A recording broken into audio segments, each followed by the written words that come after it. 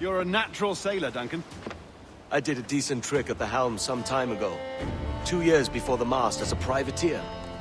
Dash my buttons. Your life seems a grand one, if I may say.